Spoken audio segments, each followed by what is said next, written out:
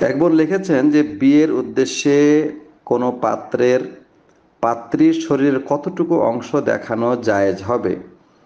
অনেকেই বলে শুধুমাত্র চেহারা, হাতের কবজি পর্যন্ত এবং পায়ের পাতা দেখানো জায়েজ। এর বেশি কিছু নয়। আবার অনেকে বলে যে পাত্রের ঘাড়, গলা, চুল ইত্যাদি দেখতে পারবে। মানে স্বাভাবিক অবস্থায় একটা মেয়ে তার মাহারামের সামনে যেভাবে থাকে, সেভাবেই পাত্রের সামনে যাবে। কিন্তু আসলে কতটুকু দেখানো যায় আপনি যেভাবে লিখেছেন ওলামাগন কিন্তু এরকম ইখতলাফ করেছে বলে তারা কিন্তু বলেছে, ঠিক আছে? নির্ভরযোগ্য আলেমরা এভাবেই ইখতলাফ করেছেন যে মাহারামের সামনে যতটুকু তার দেখা বা প্রকাশ করা বৈধ, অতটুকুই সে তার হবু স্বামী তথা পাত্রের সামনে প্রকাশ করতে পারবে। কিন্তু নির্ভরযোগ্য আরেক দল আলেম বলেছেন যে শুধুমাত্র মুখমণ্ডল এবং কবজি পর্যন্ত হাত এবং পা এগুলি দেখাতে পারবে।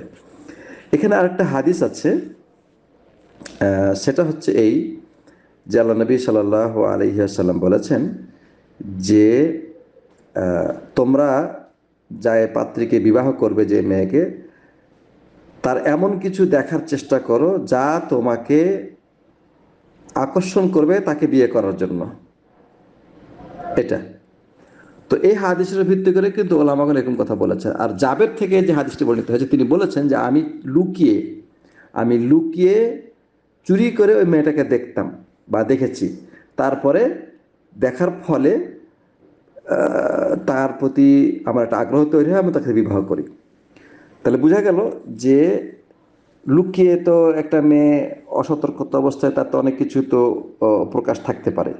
তো সেক্ষেত্রে যদি লুকিয়ে দেখে হ্যাঁ তাহলে আশা করা যায় তার এই দেখাটা অবৈধ হবে না এবং তাকে যদি বিবাহের প্রতি আকৃষ্ট করে, তাহলে এটা তার জন্য উপযুক্ত হবে আল্লাহ তালা।